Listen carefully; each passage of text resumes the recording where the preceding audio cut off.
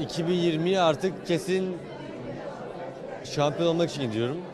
Bütün çaba, hazırlık hepsi 2020'de şampiyonluk için. Bu 2016 daha çok böyle yani gene bir madalya için gittim de yani daha böyle birazcık daha tecrübe oldu diyelim.